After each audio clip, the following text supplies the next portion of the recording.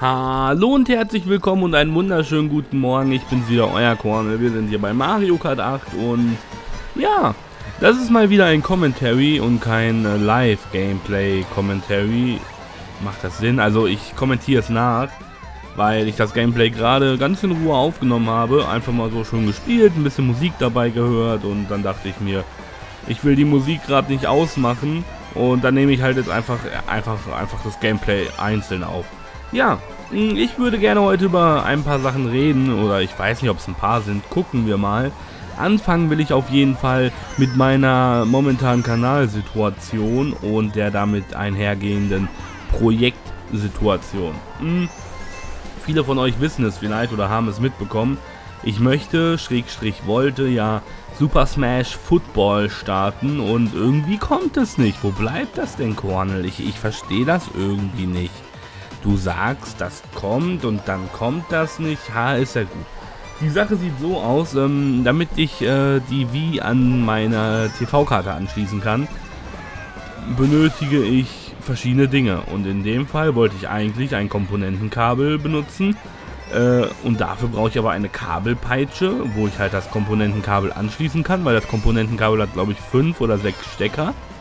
Die muss ich logischerweise an, ein, an, an einen Anschluss stecken der dann in die TV-Karte geht. Die TV-Karte hat natürlich keine Anschlüsse für alle fünf Komponentenstecker, sondern man braucht da so einen kleinen Adapter quasi, wo man halt dann die Stecker reinpackt und dann auf, am anderen Ende die, den Eingang hat, der in die TV-Karte passt.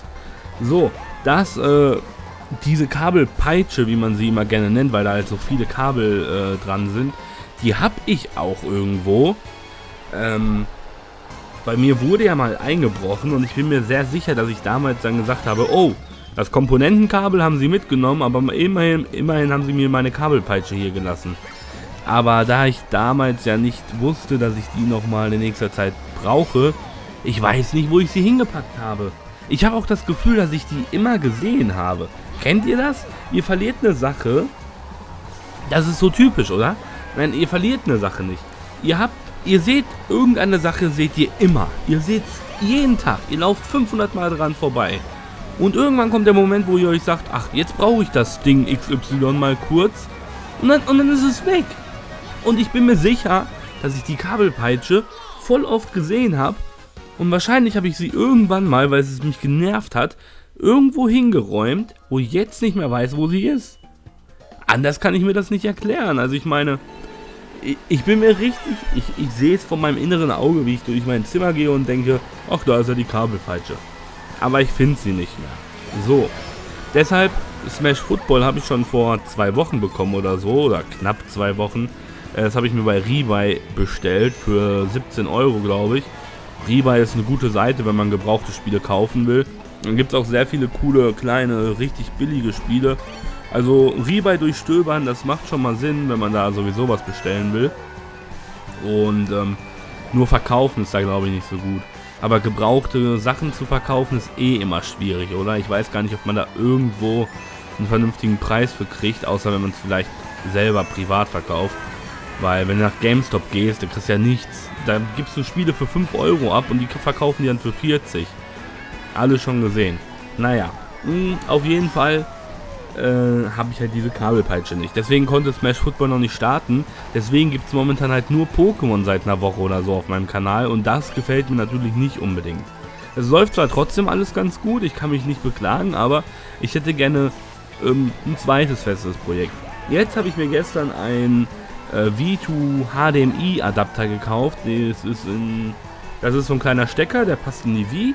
Sieht aus wie ein USB-Stick. Den packe ich in die Wii und dann kann ich ein HDMI-Kabel daran anschließen. Und meine Wii U ist ja über HDMI mit der TV-Karte äh, angeschlossen. Das bedeutet, ich muss dann einfach nur bei der Wii U rausstöpseln und in die Wii rein. Das heißt, ich muss auch noch nicht mal unter den Tisch krabbeln immer oder so. Ich kann es einfach an den Konsolen umsteckern.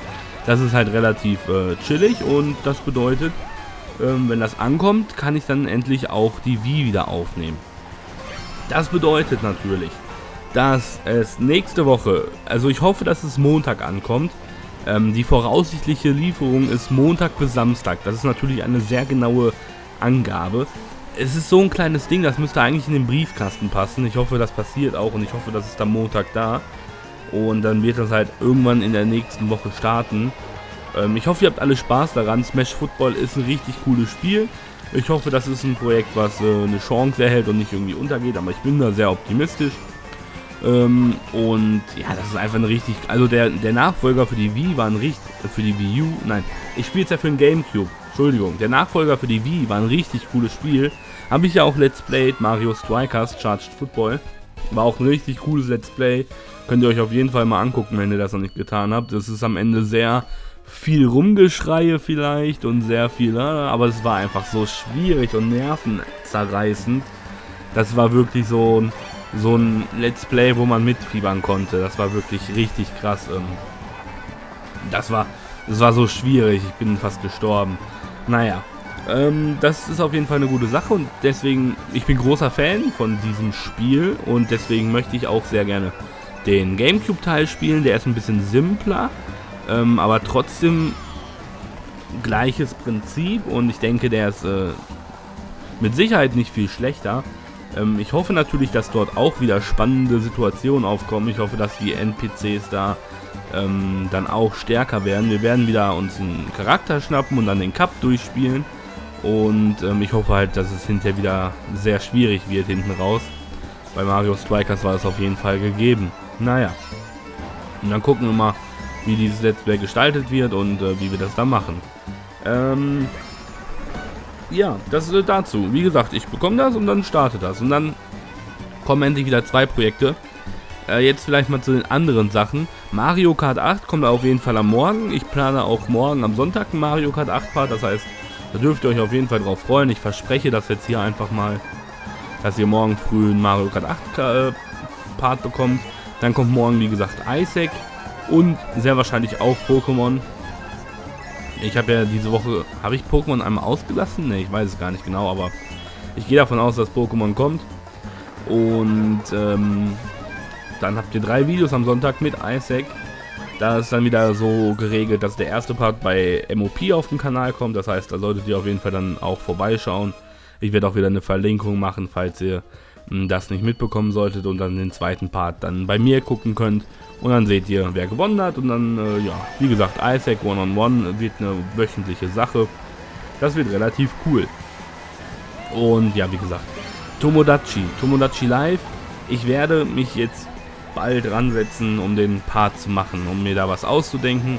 Ich möchte halt was Cooles nochmal für den letzten Part machen, nochmal so ein bisschen die Geschichte weiterspinnen. Ähm, ich habe ja das so ein bisschen versucht, dass es äh, in Tomodachi auch durch die Lieder, dass es halt immer so eine kleine Handlung gibt. Das habe ich halt. Ähm, deswegen hat halt Dumbledore was gesungen, dann hat halt der An Vor was auf Dumbledore geantwortet und so, dass man halt durch diese Lieder dann so eine kleine Handlung ähm, in diese ge zufälligen Geschehnisse reinbringt, quasi. Und ja, Dumbledore, der große Star äh, unseres Tomodachi Live Let's Plays, ist jetzt, glaube ich, umgezogen, weil bei mir ja nichts mehr geht. Ja, das war Dumbledore relativ langweilig. Ähm, der ist jetzt nach Wollo umgezogen, wenn mich da nicht alles täuscht. Und das ist natürlich sehr schön, weil Dumbledore dann äh, noch weiter lieben und leben kann. Und ich bin sehr gespannt, äh, ob das bei Wollo auch noch lustig wird mit Dumbledore. Und ähm, aber Dumbledore wird natürlich dann für den letzten Part nochmal zurück auf Kornland kommen, bevor er dann wieder Kornland verlässt, weil er jetzt äh, bei Wollo wohnt. Auf Volonia, glaube ich. Ähm, ja, da könnt ihr auf jeden Fall dann auch vorbeigucken. Wie gesagt, Tomodachi geht bei Wollo noch weiter und ist auch sehr lustig. Und ich setze mich jetzt bald dran und mache den letzten Part ähm, genau, was ich sagen wollte, ich will halt den letzten Part irgendwie cool gestalten, nochmal einen richtig coolen Abschluss. Und ähm, da will ich halt einfach, ja, will ich mir Zeit mitlassen. Ich will es wirklich gut machen. Wenn es am Ende keiner mehr sehen will, weil es out ist oder so, oder weil die Pause zu lange war, ist es mir egal. Ich will einfach einen guten Abschluss. Etwas, das mir gefällt. Weil das äh, Spiel und das Let's Play haben mir sehr viel Freude bereitet. Ähm, zum einen hat es natürlich, ist es unfassbar gut gelaufen, hat meinem Kanal auf jeden Fall weitergebracht. Aber nicht nur das, ich hatte auch sehr viel Spaß mit dem Spiel. Das war einfach, wenn ich mich da zurückerinnere an die Szene, wo Klaus und Dumbledore sich trennen, da habe ich Tränen gelacht und das ist einfach unfassbar cool gewesen, das Spiel. Und deswegen ist mir das so wichtig, dass ich da eine, ein gutes Ende hinkriege. Und ähm, naja. Ich äh, sag aber mal, dass ich auf jeden Fall nächste Woche auch dann das, den letzten Tomodachi Live Part bringen will. Wahrscheinlich gegen Wochenende. Ähm, das ist so meine Vorstellung. Ja, mh, mm, vielleicht auch nochmal ein kurzes Statement zu dem Top-Video, was ich für Pokémon plane. Ich äh, habe mich da noch nicht weiter dran gesetzt. Ich habe diese Woche ja sehr viel gestreamt. Ähm, ich habe auch gestern gestreamt. Heute streamt Wollo, wenn ihr mich nicht alles täuscht. Da könnt ihr auf jeden Fall mal bei Wollo auf dem Kanal vorbeigucken. Ob er ein Stream is On Video ge äh, gepostet hat oder ob er es posten wird heute. Ähm, ja, oder ihr guckt einfach bei ihm bei Hitbox direkt vorbei. Ist mit, mit Sicherheit. Also, wenn euch das interessiert, guckt einfach. Seid da ein bisschen aktiv. Ähm, und der streamt heute sehr wahrscheinlich. Ich sage mal sehr wahrscheinlich, weil es kann natürlich immer was dazwischen kommen. Aber in der Regel sollte er heute streamen. Ähm, und äh, morgen am Sonntag, auch mal kurz hier, passt ja auch sehr gut, äh, machen wir wieder ein Mario Kart 8 äh, Turnierstream. Wieder zwei Stunden, wieder sehr wahrscheinlich. sehr wahrscheinlich ist immer so das Wort für, wenn es ausfällt, habe ich sehr wahrscheinlich gesagt. Ähm, sehr wahrscheinlich mit Emoji, Wollo und mir, also so wie letzte Woche. Wieder zwei Stunden, wieder richtig viel Spaß, wieder richtig viel random Scheiße und einfach nur Spaß haben. Und ähm, ja, wie gesagt, und äh, Sonntagabend mache ich dann vielleicht auch wieder einen WoW-Stream. Ich ähm, habe schon wieder länger kein WoW gestreamt. Ich muss das halt alles mal irgendwie unter einen Hut kriegen. Wie gesagt, ich habe diese Woche sehr viel gestreamt, hatte auch sehr viel Bock und das war einfach alles sehr viel und äh, ja, das ist schwierig dann alles zu koordinieren, dass alles auch irgendwie drankommt und es ist einfach schwierig, ja. Ich muss da noch einen richtigen, eine richtige Ordnung finden und und und. Das ist einfach äh, so die Sache dabei. Ja, gut. Das war es eigentlich so im Großen und Ganzen. Wie gesagt, ich äh, bin sehr zufrieden momentan mit meiner Stream-Situation. Es macht mir zum einen halt sehr viel Spaß, zum anderen macht es euch, glaube ich, auch viel Spaß. Und ähm, mein Kanal, wie gesagt, ich hätte halt gerne noch ein zweites Projekt, weil ähm, alles andere halt, auch ein Cornel Flash kommt halt nur, wenn ich gerade ein cooles Flash-Game habe. Ähm, und da habe ich mich jetzt noch nicht weiter umgeguckt, deswegen kam es jetzt auch eine Zeit lang nicht. Ja, ich freue mich, wenn ich wieder ein zweites Projekt am Start habe. Sonst kommt alles. Pokémon, äh, das Top-Video zu Pokémon ist in der Mache. Hatte ich nur nicht so viel Zeit, weiter dran zu arbeiten. Ja, es kommt alles. Es ist, äh, mein Kanal gefällt mir momentan unfassbar gut. Ähm, ich äh, habe viel zu tun und ich wünsche euch noch einen schönen Tag. Ich hoffe, euch gefällt alles und äh, macht's gut. Tschüss!